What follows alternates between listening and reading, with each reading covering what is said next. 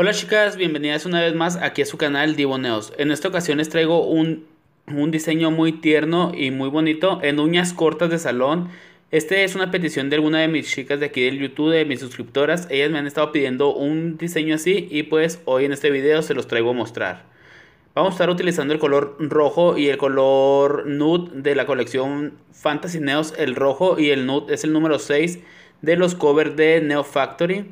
Aquí pusimos una primer perla. Como estas uñas son muy chiquitas, son el número 2. Aquí se ve que lo aplico hasta el número 3. Pero es porque el, el número 1 quedó muy hasta el fondo de la uña. Entonces es como si fuera del, es del 2. Aquí lo estamos aplicando. Y aparte acuérdense que ya les había comentado que eran en punta coffin.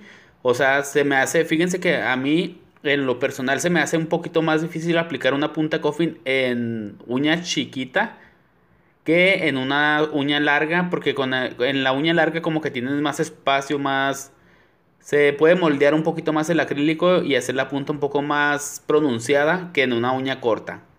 Pero pues aquí se los quise traer, como ya me lo habían pedido. Se los quise traer y pues este, ya saben que yo sus peticiones las voy subiendo poco a poco. Y pues espero que les guste este diseño, la verdad a mí me encantó bastante. Trae una técnica de acuarela o, en mano alzada. Más adelante vamos a estar viendo el dibujito anime que vamos a estar haciendo. No soy, no soy muy bueno en la mano alzada, pero pues el intento se le hace y pues para mi ver se quedó, quedó muy bonito. Bueno, aquí ya completamos lo que es la uña con el cover de Neo Factory, que es el número 6 como ya les dije. Ahora vamos a estar realizando la uña roja del dedo del medio anular, creo se llama. La vamos a estar este, elaborando de igual manera. La primera perla en el borde libre. Con esta perla que puse es, con, es suficiente para hacer lo que es la punta. Es una, como son unas uñas muy pequeñas, pues no, no necesitas tanto producto. Recuerda que si también cuando pones acrílicos sólidos, como en este caso son uñas muy pequeñas, este, no puedes, puedes darle el grosor suficiente con el acrílico de color. No se despinta al momento de limar, eso me lo preguntaron. Mm, el color no se despinta si no lo encapsulas. No pierde su color, va a quedar el mismo tono. Pero te aconsejo, como es este una uña muy pequeña, pues hay ocasiones como en este caso de que no puedes encapsular. Yo sí encapsulé, pero es para que ustedes no pierdan como que ese, esa costumbre. Pero cuando son uñas cortas tienes la, la, forma o tienes la ventaja de no encapsular y darle el grosor suficiente a la uña con el mismo tono. Recuerda también que antes de aplicar un color sólido, recuerda aplicarte una capita de acrílico cristalino debajo ya ya que eso sirve para que tu uña no se te va a pigmentar. Y aparte si le pones una capita de acrílico cristalino de, debajo, o sea, en la uña natural antes de empezar el set, tienes, o sea, aseguras más tu trabajo porque como el acrílico cristalino está virgen, no tiene nada de pigmentación, suele agarrarse más a la uña natural, entonces garantizas más tu trabajo y este y sirve que no se te pigmenta la uña. Aquí como pudieron ver, humedecí lo que es la base de la uña roja. Eso es para que no me vayan a quedar esos burbujitas blancas o puntos blancos que quedan a veces. Es por eso que yo la humedezco. este es otro tip que ustedes pueden hacer para que no les salgan las burbujitas o los puntos blancos. Aquí estamos dándole ya la última perla en área de punta. La difuminamos hacia área de cutícula y después barremos ligeramente hacia punta para dar este, uniformidad al encapsulado. Aquí vamos a empezar a limar. Esta es la lima de Fantasy Neos, la 100-100. Ya está muy viejita, pero la verdad pues para los videos sirve para lo que es. Y aquí vamos a empezar a limar faldones.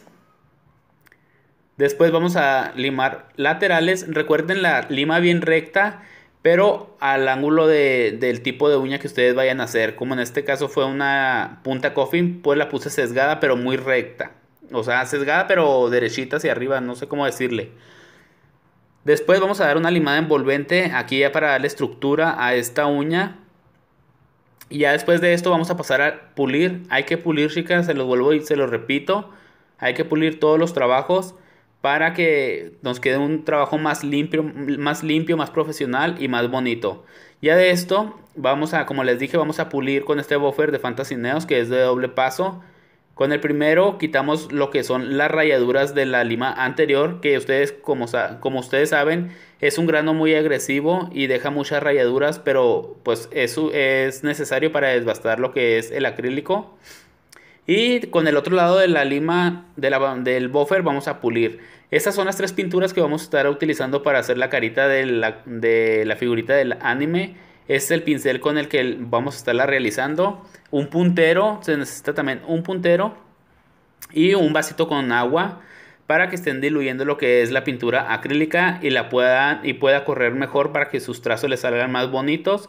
Aunque recuerden que cuando vamos a hacer mano alzada o así algunos trazos, algunos dibujitos, la verdad casi no, no tiene mucho que ver si te queda poquito mal algunos trazos, puesto que cuando ya terminas y le pones el gel finalizador, esos trazos se pierden entre tanto brillo y la verdad queda muy bonito. Ustedes ahorita aquí lo van a ver, Aquí estamos haciendo el rostro. Este va a ser Minnie Mouse. Aquí como pueden ver hicimos el rostro. Aquí vamos a empezar a dibujar una línea para dividir lo que son los ojitos. Aquí más o menos ahí, ahí este lo puse. Ya después estamos haciendo lo que, lo que es la boquita. Dos rayitas y dos rayitas a cada ladito para que le dé el efecto de, de, de una sonrisa, perdón. Y con este puntero vamos a estar formando lo que son los ojos. Bueno, primeramente la nariz, perdón. La nariz aquí con el puntero más delgado y la pintura acrílica formamos lo que es la nariz. Después con el, con el otro lado del puntero que es un poquito más grande vamos a estar formando lo que son los ojos. Así muy bonitos. Y ahora sí, no se me olvidó ponerle la, el iris o... Sí, el iris creo que era. El puntito negro ese que va ahí. Lo vamos a estar poniendo en cada ojito. Hay que dejar que también que seque la pintura. Por decir, yo ahí no dejé que secara muy bien la pintura. Y vean que no, no, no agarraba muy bien. Ya después lo remalqué. Y aquí vamos a estar haciéndole las, las pestañitas. Vamos a hacerle tres de cada, en cada ojito. Como pueden ver, ustedes, pues como ya les había dicho, yo no soy muy bueno para la mano alzada, pero si se fijan, ahí como que conforme vamos haciendo el dibujito va agarrando la forma y aparte ya cuando le das el finalizado con el, con el gel, te quedas muy, muy, muy bonito. O sea, si da la apariencia de la caricatura que quise hacer aquí. Aquí vamos a estar haciendo el moñito con el mismo puntero. Vamos a estar formando lo que son el moñito este que trae esta caricatura. Se va a ver medio feito, medio chistosito, pero ya el último, ustedes ahorita van a ver cómo se va, cómo se va a ver cuando ya lo le ponga la sombra y lo del medio del moñito. Aquí solamente estamos haciendo como que el, ¿cómo se dice? La forma del moñito. Ya después empiezo a contornear lo que es la parte del moñito. Aquí vamos a hacer la oreja. Vamos a con el mismo puntero ese con, la, con el lado más ancho vamos a hacer la oreja de, la, de esta caricatura. Y aquí ya me salté un poquito más para darle velocidad al video. Aquí sí ya solamente lo que le puse es lo que, los puntitos del moñito y lo sombreé el moño. Después de esto, pues aquí ya vamos a poner algunas piedritas, alguna decoración. Esta parte no la quise quitar porque ni me había fijado que estaba grabando, hice un rebrujo, pero la verdad no lo quise quitar para que vean que todos tenemos errores, pero en sí lo que importa es el diseño. Espero les guste este diseño, espero que lo lleven a la práctica, la verdad está súper fácil, es de salón.